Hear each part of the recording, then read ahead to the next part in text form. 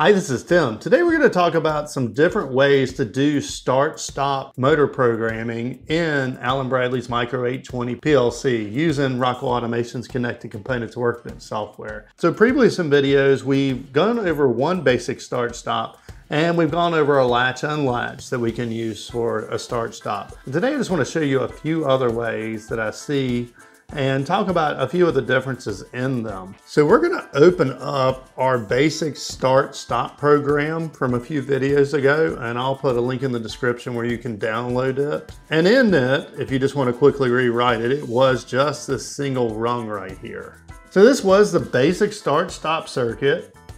Press start, green light comes on, press stop, green light goes off. And I went through a very long explanation of how this worked in the previous video. So I'm not gonna go deep into the step-by-step -step scans of this. But now let's add three other variations of a start-stop just to show how they function a little differently. So let's add a rung. And in fact, let's just just highlight rung one and let's copy and paste. We're gonna use the same green light and red light for all of them. So that part will stay the same take your stop button, just click on it and start dragging it. You'll see plus signs where you could put it anywhere. In fact, you could even drag it to another rung. We're gonna drag it right to the beginning of this. And this is another very common way of doing start stops.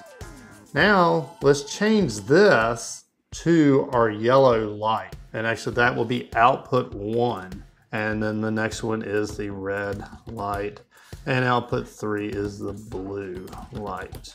So we're gonna use the yellow light and we're also gonna change this to the yellow light.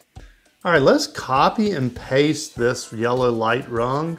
And all we're gonna do this time is we're gonna drag that stop button over to the right side. This is another way you'll see it a lot. And let's change this to our red light. So change it both in your branch and your output to the red light. And now for our final one, let's use the set and reset instruction. So let's use the direct coil, examine if closed. And we are going to look at our start button. And then let's use the set instruction. And let's use the blue light. Now let's add one more rung and bring down the direct coil, examine if closed and we will use the stop button and the reset. And this again will go to our blue light.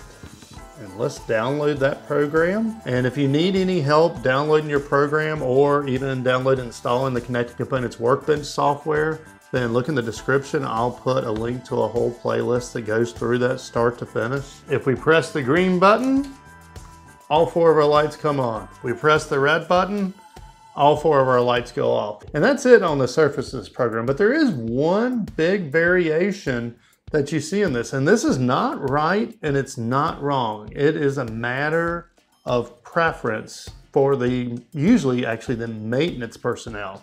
If you press the red stop button and then press the green start button, rung one is gonna allow that motor or whatever load to run.